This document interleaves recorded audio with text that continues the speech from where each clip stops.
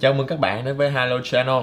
Thì ngay hôm qua Viettel đã chính thức ra mắt cái eSIM 4G dành cho Apple Watch rồi. Mà mình cũng đã ngay lập tức đi tậu ngay một chiếc về để mà cùng các bạn khám phá xem eSIM cho Apple Watch nó như thế nào nhé.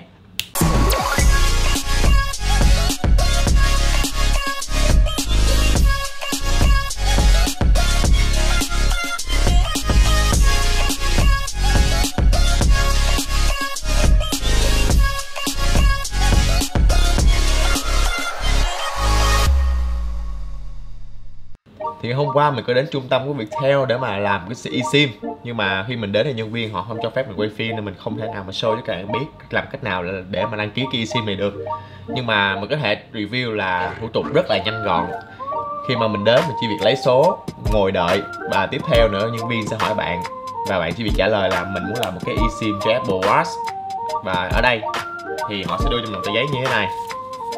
Tên tên thì ở đây là tất cả loại gói cước bạn có thể sử dụng trên cái eSIM Apple Watch. Thì ở đây có hai loại gói cước chính. Đó là một loại là chương trình đầu tiên này. Thì vừa nghe gọi mà vừa có data luôn. Loại thứ hai ở ngay dưới đây. Thì loại này chỉ có data mà thôi. Không, bạn không thể nghe gọi được. Ngoài ra còn rất là nhiều đây. Còn ờ, ở hàng này chính là cái phí để bạn đóng tiền bạn mua cái sim này. Thì đây là cái phí đầu vào. Còn đây, ở tên gói là bạn thấy không? F90 nè XL90 nè như XL50 nè, thì cái số đằng sau đó chính là số tiền mà bạn phải duy trì gói cước này mỗi tháng.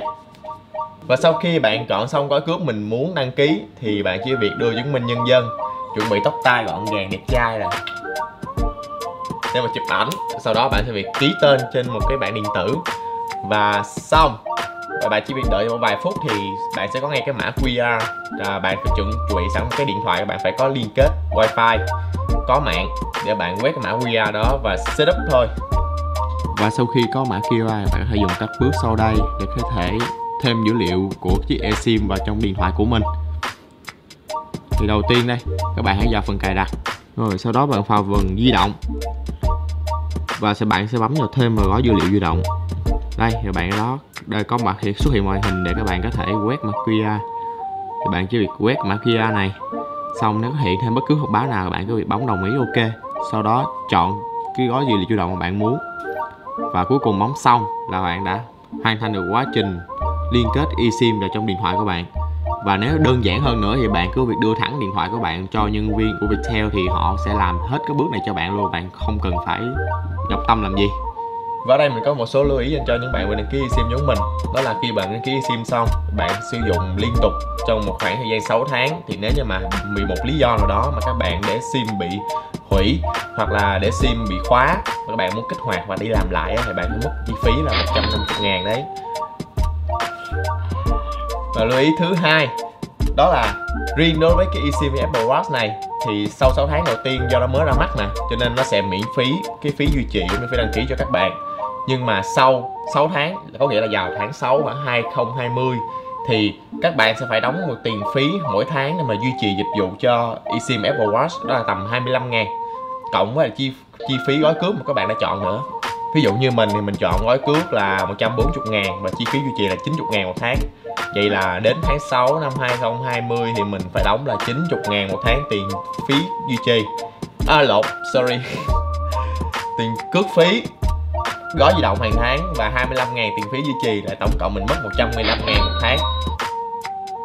Cảm tán giỏi phải liền thì sau khi các bạn đã kết nối được cái sim với điện thoại của mình thì tiếp theo bạn sẽ tiếp tục kết nối nó với lại cái Apple Watch. Thì để làm được điều này thì các bạn hãy vào ứng dụng Watch. Thì kéo xuống là bạn sẽ thấy được một di động bấm vào đó. Và bấm vào thêm dữ liệu di động thì nó sẽ hiện lên một chính, hai là phụ. Thì đây chính là cái lựa chọn sim mà bạn đã cài đặt khi bạn liên kết cái eSIM vào trong cái điện thoại của mình. Nếu như bạn cài đặt cái eSIM của mình là sim chính thì bạn chỉ bấm vào nút chữ chính. Còn nếu như bạn đặt là sim phụ thì bấm vào chữ phụ. Đây rồi sau đây nó sẽ pop up ra cho bạn một cái màn hình mới. Và bạn, ở đây, bạn sẽ đăng nhập vào cái số chứng minh nhân dân của bạn. Và đăng ký. Ta ta ta ta. Và bấm đăng nhập còn xong sau khi đăng đăng nhập vào thì bạn chỉ việc bấm next hoài thôi. Rất là đơn giản. Đấy bấm vào next thì hiện ra bạn bạn bấm tiếp tục đồng ý. À, đã chúc mừng và bấm xong thì bây giờ bạn sẽ chờ một lúc để cho điện thoại có thể setup được cái dữ liệu di động của eSIM vào cái Apple Watch cho bạn. Ở bên dưới đây là tất cả những cái phần mềm mà bạn có thể chọn để mà được quyền sử dụng cái dữ liệu của cái eSIM đó hay không. Và mình vẫn cứ để chọn hết đi. Khi nào mà cái dòng quay là đang kích hoạt này quay xong này thì có nghĩa là bạn đã kích hoạt thành công. Đây xong rồi. Và đồng thời cũng có tin thông báo tin nhắn đến của Viettel. À đây, quý khách đã đăng ký thành công dịch vụ multi sim Apple Watch phí 0 đồng trong 6 tháng. Và sau chương trình khuyến mãi này thì phí dịch vụ sẽ là 25.000 đồng cho một sim một tháng. Thì như mình đã nói ở phía trên rồi đó có nghĩa là vào tháng 6 năm 2020 năm sau thì mình sẽ phải đóng 25.000 một tháng. Và bây giờ khi Apple Watch của bạn đã kết nối được với cái eSIM rồi thì giờ chúng ta sẽ thử vọc xem Apple Watch có eSIM thì nó sẽ khác như thế nào với Apple Watch thông thường nhé. Và ở đây như các bạn đã thấy thì điện thoại mình đã tắt Bluetooth và nó hoàn toàn không còn kết nối với Apple Watch nữa. Ở đây mình cho mình lên xem luôn nè. Cái trên Apple Watch của mình bây giờ cũng đã không còn kết nối với cái điện thoại mà giờ đang chạy bằng cái eSIM. Thì đó là cái dấu hiệu của eSIM. Và phía trên nó chính là cái thanh sóng của eSIM như bạn thấy.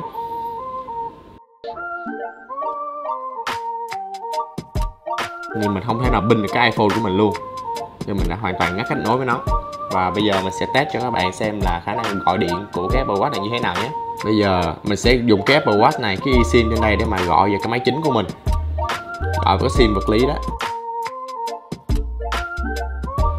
Ok, chúng ta vào phần cuộc gọi nè. Ok, bấm phần bàn phím. Ten ten. Và bây giờ sẽ bấm số của anh vô? Số của sim vật lý ok, và bây giờ mình sẽ bấm gọi.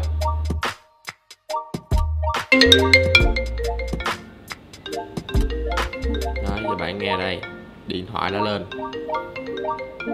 Rồi bạn sẽ test khả năng nằm thoại vô.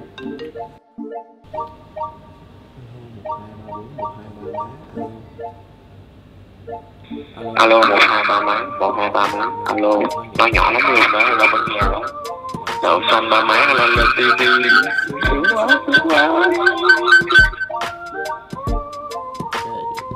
như các bạn đã thấy thì khả năng đàm thoại vẫn rất là tốt và rất là ok. Và bây giờ mình sẽ test ngược lại cho các bạn biết là bây giờ mình sẽ dùng chiếc iPhone này gọi vào chiếc sim Apple Watch xem có được không nhé. Và bây giờ mình sẽ bấm gọi vô cái sim, eSIM của mình.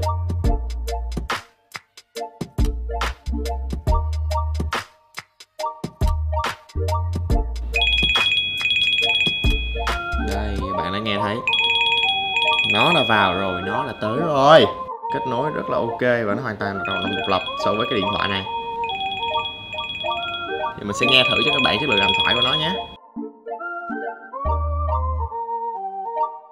Alo test test test test test một hai ba mấy yeah yeah ó ó em yêu em yêu em và bây giờ mình sẽ mượn thêm một cái điện thoại nữa để trả lời giúp các bạn một câu hỏi, đó là cái eSIM trên cái Apple Watch nhỏ như vậy thì liệu nó có làm giảm chất lượng làm thoại hay là nó làm cho tốc độ điều truyền tải của các bạn có bị thấp đi không? Và bây giờ mình sẽ dùng cái hai máy, một là cái máy điện thoại với sim vật lý và một cái Apple Watch của mình với eSIM để gọi cùng lúc với cái sim vật lý trên máy điện thoại của mình để xem cái nào ăn nhé.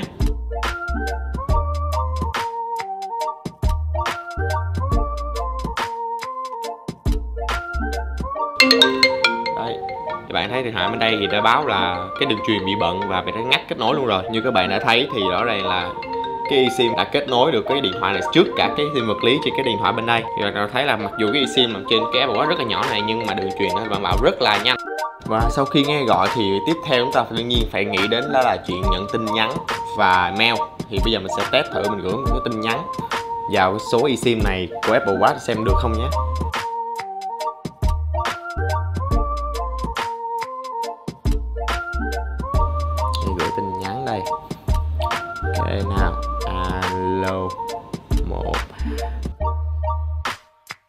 Alo, một, hai, ba, mẹ.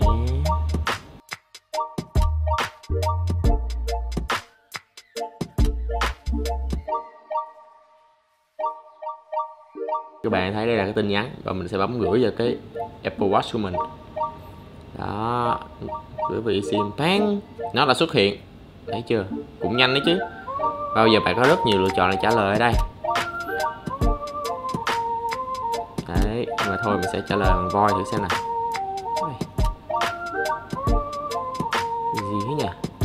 Đây, ok. Mình trả lời bằng voi.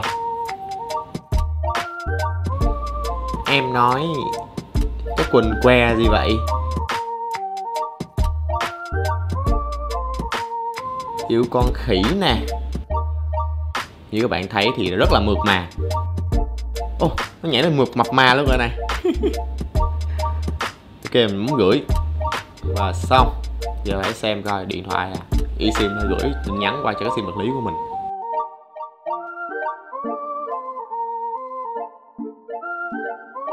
Bang, đấy tin nhắn là đến đấy.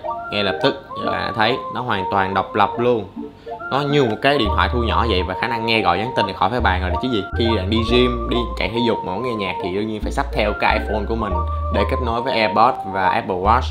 Thì bây giờ, thì sau khi có eSIM rồi thì Apple Watch này có giúp các bạn bỏ cái điện thoại ở nhà sau khi đi tập gym hay là đi tập thể dục không nhé.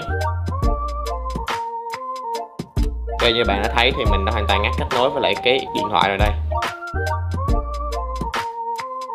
Bây giờ mình sẽ mở AirPods lên để nghe nhạc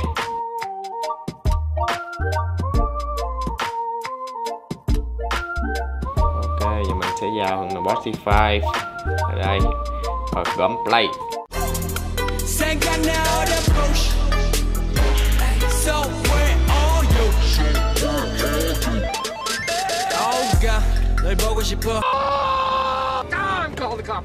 Và sau những bài test kể trên thì bạn đã thấy là chiếc Apple Watch này sau khi có eSIM thì nó khủng khiếp cỡ nào.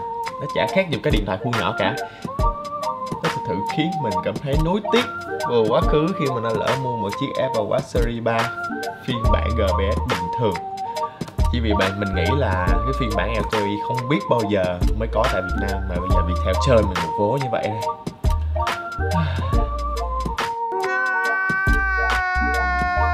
Và đây là một bước tiến vô cùng lớn đối với dòng Apple Watch tại Việt Nam. Khi nó khai mở toàn bộ những điểm mạnh sáng giá, một chiếc đồng hồ này mang lại cho các bạn. Khi nó hoàn toàn có thể hoạt động độc lập và bạn có thể nghe gọi bất cứ đâu. Làm bất cứ chuyện gì vô cùng tiện lợi và nhanh gọn. Thì chắc chắn trong thời gian sắp tới thôi thì chiếc Apple Watch có eSIM, các dòng Apple Watch có eSIM. Và riêng dòng Apple Watch Series 5 chắc chắn sẽ cháy hàng và giá sẽ đẩy lên nữa đó. Thì các bạn còn chờ gì nữa mà không đến ngay Halo để tạo ngay cho mình một chiếc Apple Watch mới toan trước khi nó sốt nè. Link của chuyên trang Apple Watch của Halo mình sẽ để ngay phía dưới video này nhé. Còn bây giờ xin chào và hẹn gặp lại các bạn.